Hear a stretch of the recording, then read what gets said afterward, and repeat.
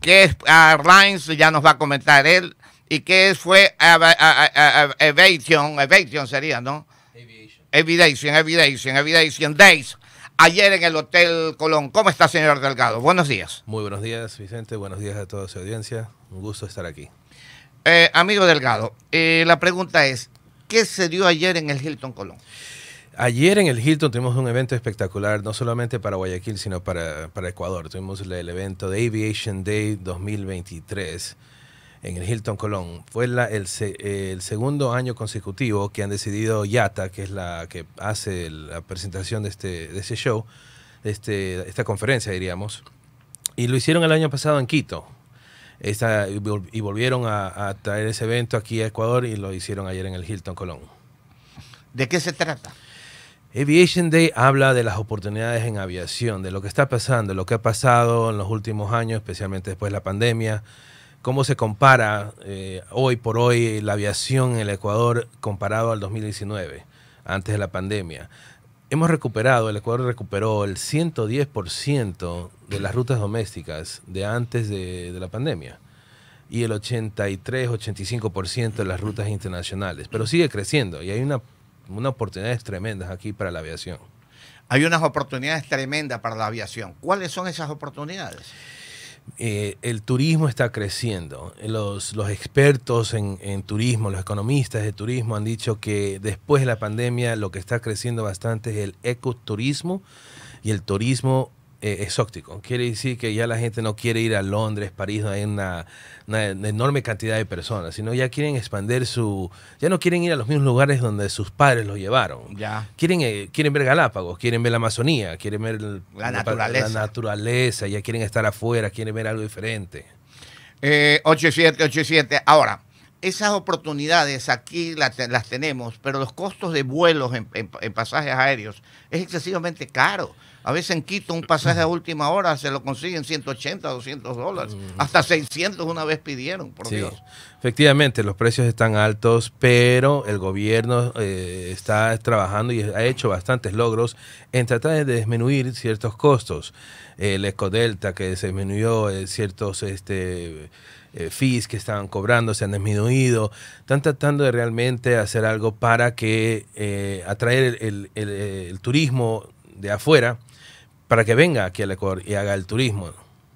Pero sobre ese turismo, ayer que hablaron en esta, en esta, eh, ¿cómo es que se dice? Aviation, aviation, aviation Day. Aviation Day. que trataron precisamente sobre costos, sobre eh, eh, eh, cómo es este, sobre costos, sobre ciudades turísticas, lugares turísticos, sobre puntos turísticos. Mire, estuvo, eh, el, gobierno, estuvo varios ministros, el ministro Ron, eh, estuvo este, el ministro Nilsson Olsen, hablando exactamente de eso, los logros que han tenido el gobierno en tratar de rebajar las tasas de, de impuestos para atraer más turismo aquí al Ecuador. No solamente eh, los costos de las salidas del aeropuerto y siguen trabajando en eso para tratar de reducirlo, porque sí es un poco costoso. Y de esa forma atraer más turismo, porque lo que necesitamos es el turismo aquí, en, Ecuador. Hay aerolíneas que están también planificando venir aquí al Ecuador, nuevas, otras que quieren este, expandir su, su, su red de conectividad fuera de Ecuador. Ahora también hablamos de Copa, Copa Airlines, que es de Panamá, que va a volar eh, en estos próximos días, yo creo que el martes de la próxima semana, va a comenzar a volar eh, directo Panamá, Manta, por primera vez. Una, eh, Manta se convierte en un aeropuerto internacional que es excelente para el país, tan pequeño como somos Ecuador, tener tres aeropuertos, perdón, cuatro aeropuertos internacionales, porque la Tacunga es un aeropuerto internacional. Entonces, es un logro tremendo traer a Copa a Manta conversando con el señor Eduardo Delgado, presidente de Ecuatoriana Airlines. Ahora, hablando de Ecuatoriana Airlines, eh, ¿cómo así traer capitales extranjeros para la aviación? Comenzando porque el presidente de la Asociación de eh, Turismo del Ecuador, el ingeniero Holbach Muñetón, dice que las tarifas aéreas son demasiadas caras aquí en Ecuador. Necesitamos más competencia, pero más competencia en rutas que no tienen ahorita, hoy por hoy, eh, vuelos. Eh, por ejemplo, la ciudad de Esmeraldas no tiene un solo vuelo comercial. Eh, diríamos, hay muchas, Lago Agrio. Pero ahí viene una pregunta, señor Delgado. Eh, 8 y 10, ah, hablando de Esmeralda exclusivamente. Esmeraldas ha tenido vuelos y los han eliminado porque no ha sido rentable. Mm. ¿Cuál es el truquito del tema? El truco es que tienes que utilizar el avión adecuado, el, avión que llama eh, la capacidad de un avión y cómo operas en una cier- cierta ruta. Entonces no puedes mandar un, un jet de 180 pasajeros, 150 pasajeros, una ruta que, que no te da, que solo te da para 70 pasajeros, 80 pasajeros a lo máximo. Entonces tienes que, una aerolínea tiene que también ver dónde, dónde manda sus aviones y cómo los manda.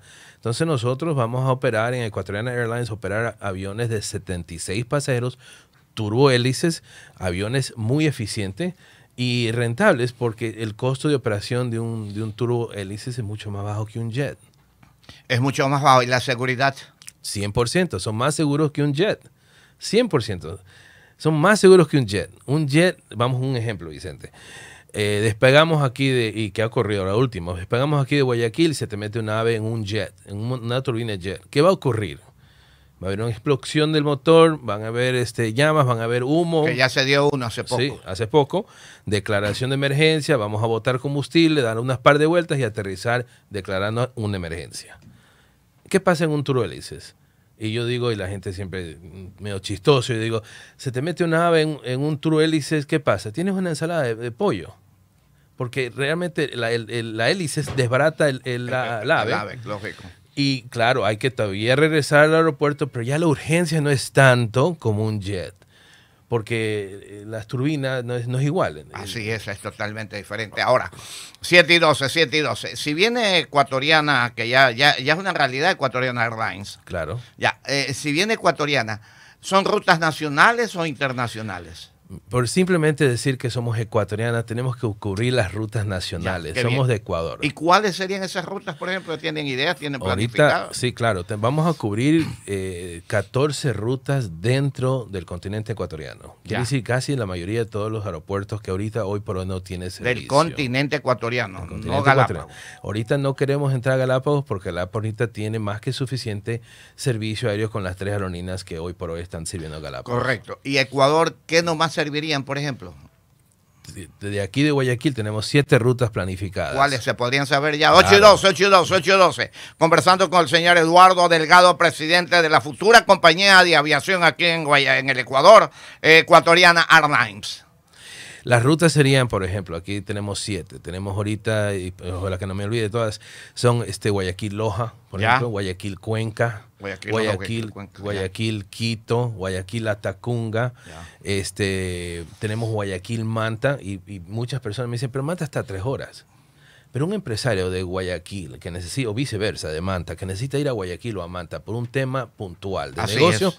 quiere treparse a un avión en la mañana, hacer sus negocios en, en su destino y regresarse para estar con su familia. Así es. Y no pasar 6, 7 horas en la carretera.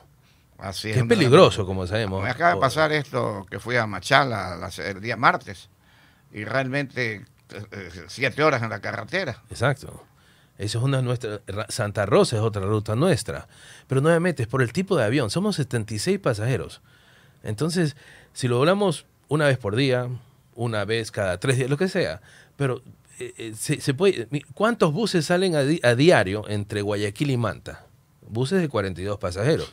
Oiga, yo me quedo admirado, discúlpeme que lo interrumpa.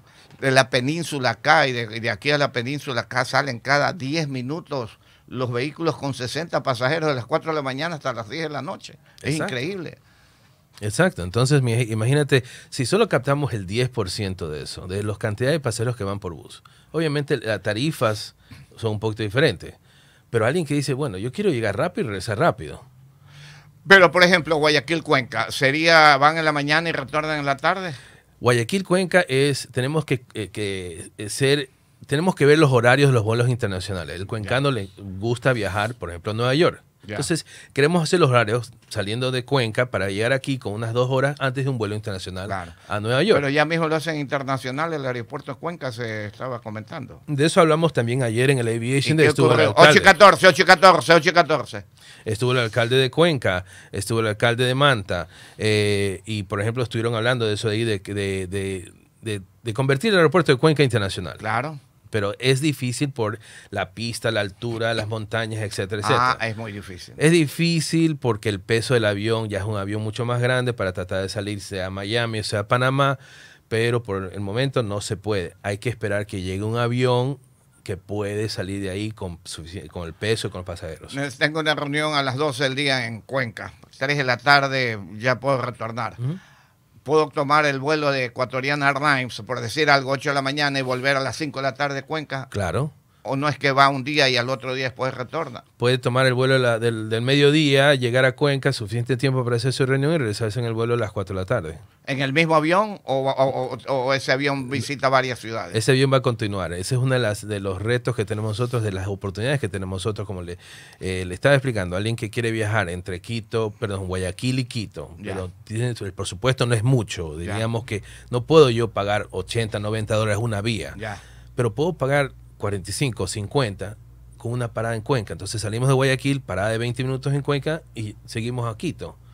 Y llegamos a Quito tranquilo y se ahorró 30 dólares del pasajero. Dice, yo no estoy en ningún apuro a ir a, Quito. Ah, lógico. Pero me ahorro 30 dólares. ¿Y, el retorno puede ser igual? Igual.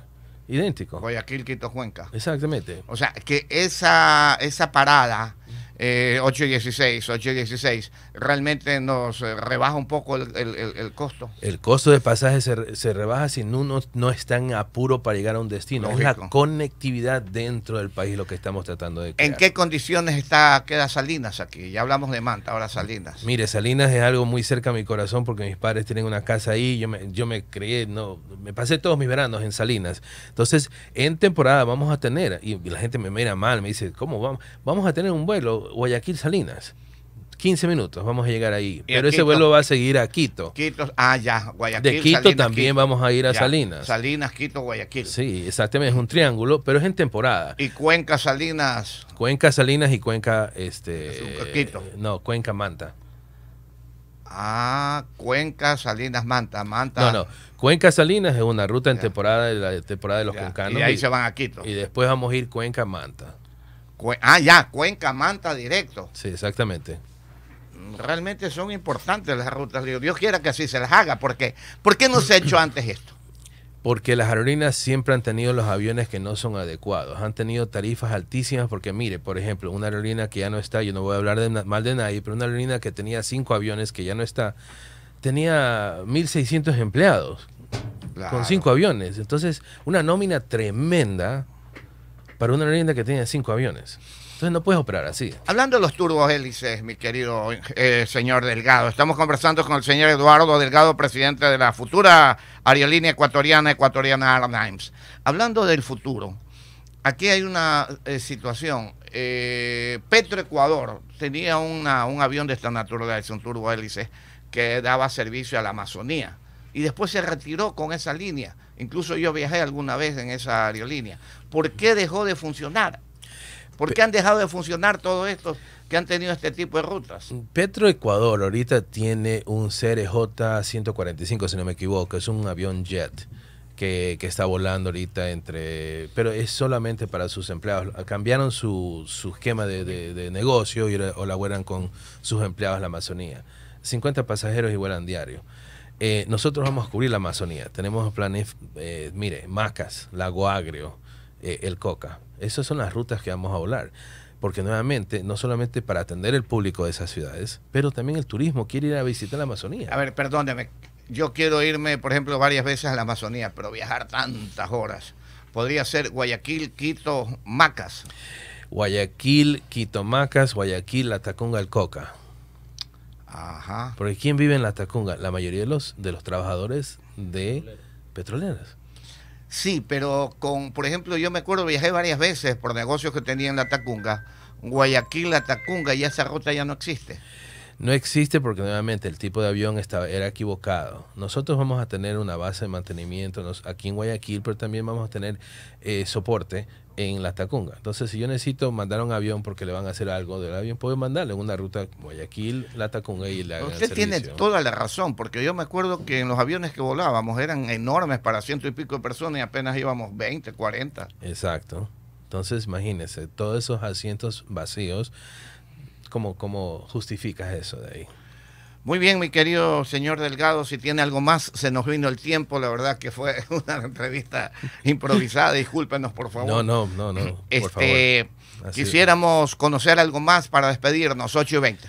Este, realmente lo que estamos regresando a la otra, la vieja eh, ecuatoriana de aviación, como todos deben de conocer, eh, especialmente alguien después de los 35 años, y queremos regresar algo al Ecuador, una aerolínea de bandera de los ecuatorianos para los ecuatorianos. Ok, mi querido señor Delgado, y muchas gracias por habernos visitado. Gracias, Vicente.